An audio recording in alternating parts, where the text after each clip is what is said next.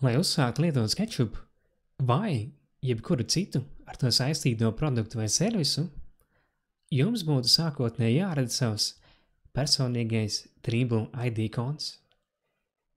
Tas katrai personai būtu unikāls un ļautu ar vienkāršu e-pasta un paroles palīdzību aktivizēt jebkuru no Dribble produktiem. Šajā video apskatīsim, kā izveidot šādu kontu, kā lejuplādēt SketchUp, kā to aktivizēt un kā rīkoties dažādos problēmu gadījumos.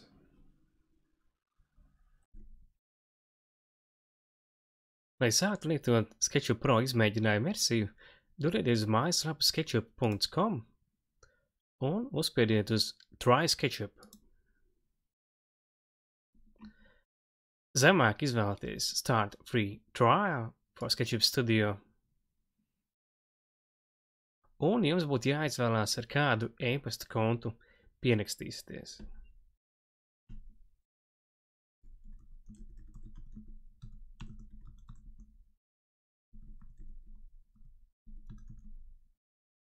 Ja šim e-pasta kontam vēl nav radīts Trimble ID konts, tad jums prasīs to izveidot.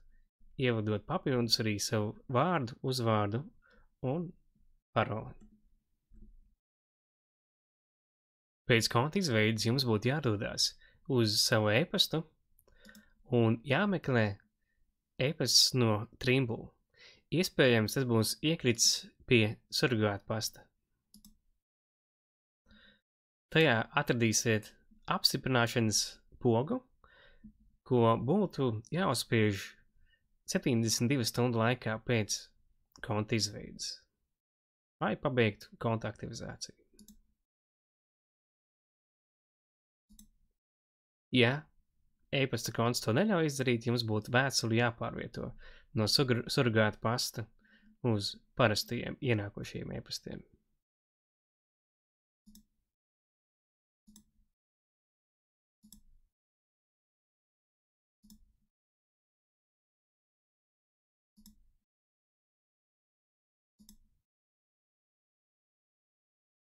Un gatavs konts ir izveidots un varēsiet sākt lietot SketchUp 30 dienu triāla versiju. Lai piekļūtu SketchUp lejupielādēm, noklikšķiniet uz augšā esošās lietotāja ikonas, My Apps, My Products View included applications un uz SketchUp download. Šeit redzēsiet pēdējās trīs SketchUp versijas un to lejuplādes iespējas gan priekš Windows, gan macOS operētāja sistēmām. Jūsu Trimble ID kontam piesaistīto SketchUp licenci ir iespējams lietot uz diviem datoriem vienlaicīgi. Lai aktivizētu pašu licenci, sākuma ekrānā nospiediet Sign in pogu, pēc kā atvērsies interneta pārlauks, kur būtu jāpierakstās ar jūsu Trimble ID, e-pastu un paroli.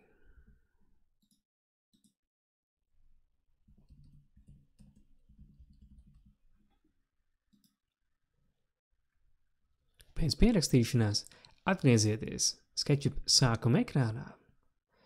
Tur redzēsiet, līdz kuram datumam jūsu licence vēl būs derīga, un, kad vēlaties SketchUp lietot atkal uz cita datora, stūrītī varēsiet arī izrakstīties no sava konta ārā.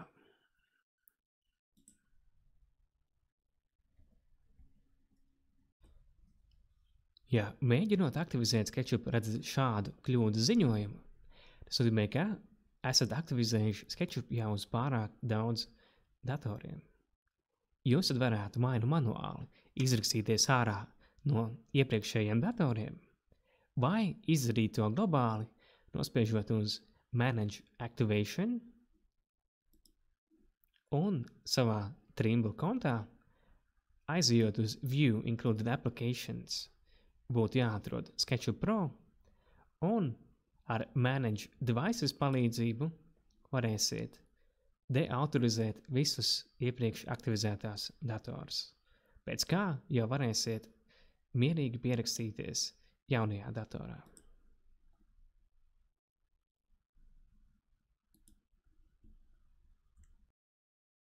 Trimble ID konta members sadaļā redzēsiet, cik daudzas no jūsu licencēm ir izmantotas un cik vēl būtu pieejams. Pieejamās licences variet piesaistīt noteikta lietotāja Trimble ID kontam, uzspiežot uz Assign un ievedot lietotāja e-pastu. Ja lietotājiem vēl nav Trimble ID konts, tad tam vajadzēs pēc tam reģistrēties.